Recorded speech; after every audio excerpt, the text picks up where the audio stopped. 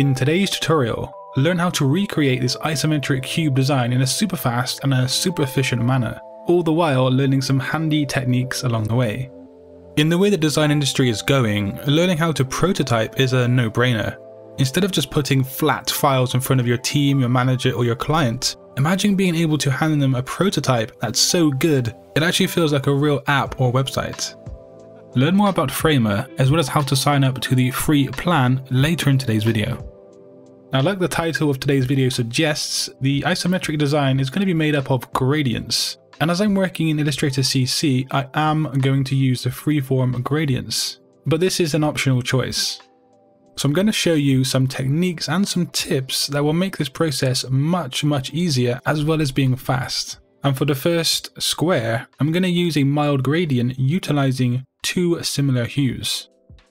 And for this process, I think using the HSB mode is going to be pretty handy because then we can play around with the tints and the shadows very easily and lighting is very, very important when it comes to 3D design. Being able to lower the brightness or heighten the brightness on the bottom slider is going to be one of the most key functions in today's video. So we're going to be making the first set of nine different squares. And so once you have the first square, hold down the Alt Option key and then click and drag to duplicate it over to the side. We do want nine different squares, and so for this new square, you can come into the recolor panel, into the edit section, and then click the link icon. Slightly move the sliders around to adjust the hue or the color of your square. And if you repeat this process over and over again of duplicating a square and then slightly changing that color, you will finish with nine different squares. So go ahead and do that right now for your very own design. And here are my nine squares. And as you can see, I've gone from the blue square at the start over three and then back down to the other two rows. It's going to be wise to duplicate this group of squares in case we do need them later in the video and also don't resize anything from here onwards. Keep the squares the same size. So to actually make the isometric design, there is a way built into Illustrator, and so to demonstrate, I'm going to quickly remove the gradient on the square and show you how it works. So you need to come into the 3D and then also the bevel and extrude option, and then locate the isometric orientation in the drop down menu. As you can also see, the bounding box on my square doesn't match nicely with the new orientation. And this is the second problem in using this method. You can use this method, but there is an easier way, and that is to download a plugin which is free and it's something I showed in a previous video. The link is down in the description box of today's video if you want to download it, but you do need a Creative Cloud account to actually install it for free. But it is going to make things so much easier today. So here is the isometric panel for the plugin, and so let's grab the first square and then set it to an isometric right orientation we need to apply the same effect to the second square, and of course make sure that they are properly aligned and joined together neatly.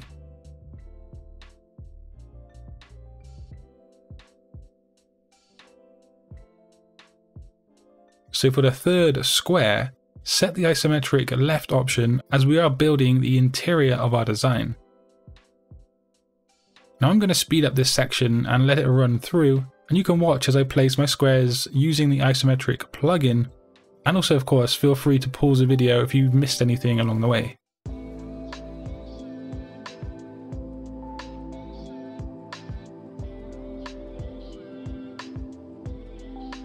So you're finally going to come to this stage in the process and you are going to want to spend some time adjusting the gradients to allow for a realistic lighting effect. You can press G when you have a square selected and this will access your gradient again. But yeah, you are probably going to spend a lot of time adjusting the shadows and the highlights throughout the entire design process, because that's pretty much what I ended up doing for this tutorial. So we now need to make the exterior of our design, and I do have two finishing touches later that are going to really, really make the 3D design wow whoever looks at it.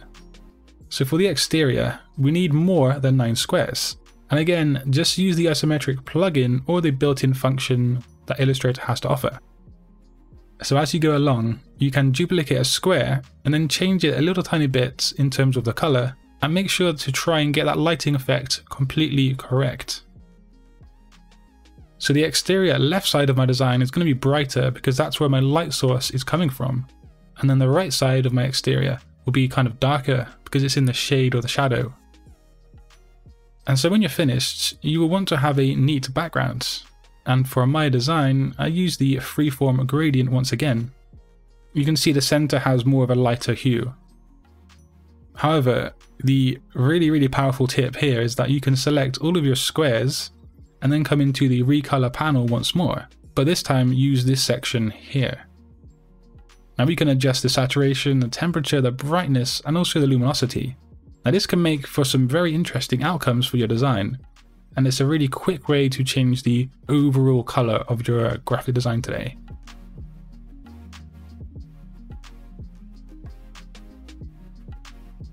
And the sponsor of today's video is Framer. It's a no-code, free-to-use tool making it easy for anybody to become a prototyper. Now the simple onboarding and design as you go tutorials teach you how to use powerful pre-built components, make your own custom animations, and recreate common interactions. So just after a few hours, you're probably going to have a new skill that helps you stand out from the crowd. Now sign up for free or get a 20% discount of any paid plan by visiting framer.com forward slash Graphics. And that link is down in the description box below for you to access right now. So do you dig this isometric design and do you think you're going to recreate it for yourself?